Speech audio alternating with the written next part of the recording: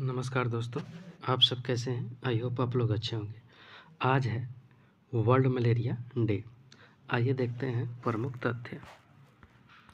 हर साल 25 अप्रैल को विश्व मलेरिया दिवस मनाया जाता है। इस दिन को मनाने का सिर्फ़ एक ही मकसद है कि इस मच्छर जनित रोग को लोग हल्के में न लें, बल्कि इसकी गंभीरता को समझें विश्व मलेरिया दिवस का इतिहास।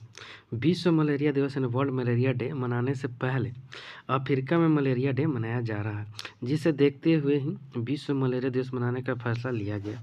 साल 2007 में बीस साल 2007 में विश्व स्वास्थ्य सभा का साठवां सेशन आयोजित हुआ था, जिसमें विश्व स्वास्थ्य संगठन यानी डब्ल्यू ने ये प्रस्ताव रखा था कि अफ्रीका में मरने वाले मलेरिया दिवस को विश्व स्वास्थ्य मलेरिया दिवस में बदल दिया जाए। इसके बाद से साल 2008 से 25 अप्रैल का दिन विश्व मलेरिया दिवस के रूप में मनाया जाने लगा। विश्व मलेरिया दिवस 2023 की थीम विश्व मलेरिया दिवस हर साल एक नई थीम के साथ मनाया जाता है।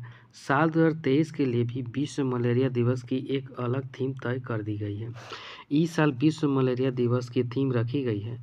Ready to combat malaria malaria से लड़ने के लिए तैयार, इस थीम के पीछे का मकसद लोगों को मलेरिया से निपटने के लिए, तैयार रहने के लिए जागरूक करना है। विश्व मलेरिया दिवस का महत्व। मलेरिया के प्रति लोगों में जागरूकता बढ़ाना एक बड़ा मिशन है। आमतौर पर लोग मच्छरों से खुद को बचाने के प्रति भी गंभीर नहीं रहते।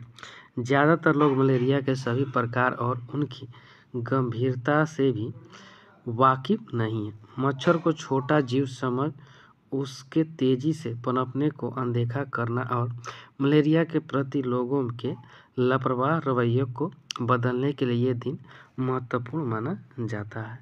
थैंक यू फ्रेंड अच्छा लगे तो लाइक सब्सक्राइब और शेयर ज़रूर करें। साथ में बेल आइकन का बटन दबाना नहीं भूलें।